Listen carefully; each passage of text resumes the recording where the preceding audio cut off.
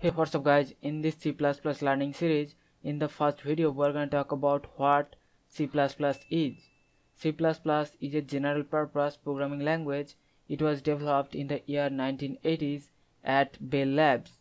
It is a middle level programming language in the sense that it has features of both the high level and also the low level programming language. The C++ supports so many different styles of programming it supports object-oriented programming, procedural programming, and also it has functional programming features.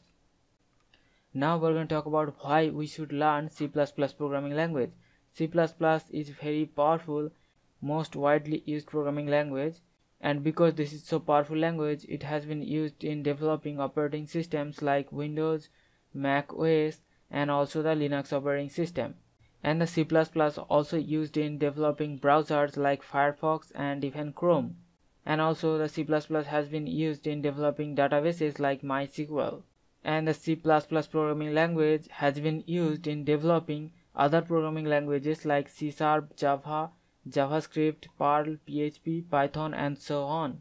And because C++ is very powerful, it is very fast and has the capability of low level hardware control it has been used in developing game engines where the performance is a key factor. And because C++ is very powerful, it is most loved among programmers and very widely used programming language. So it is a good choice to learn C++ in this current scenario.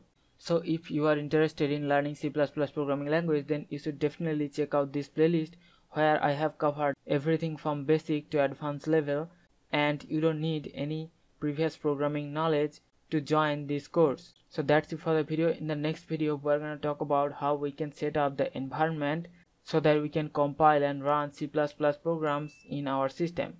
So that's it for the video. We'll see you in the next one. Thank you.